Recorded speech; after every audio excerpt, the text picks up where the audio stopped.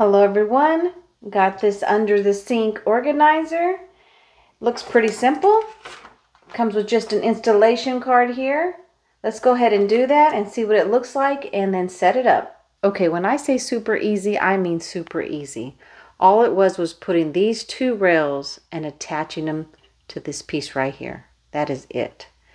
Let's go ahead and put this somewhere and see how it works. Okay, so this is a before picture, meaning I'm going to put this organizer under here and see how well it does.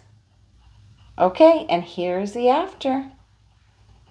I love this little slide out drawer. You can just get to it easier, just moving it back and forth. And then also you could just get to this a lot easier.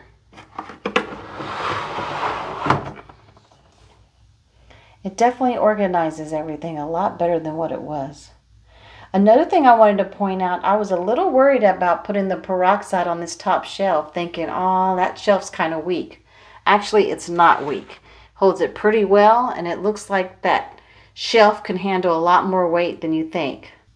Now, I used this under the bathroom sink. You could use it under the kitchen sink, under the kitchen cabinets, anywhere you see fit. For us, under the bathroom sinks, it seems to always get cluttered, so these things really help. I really hope this information was helpful, and I hope you'll have a great day.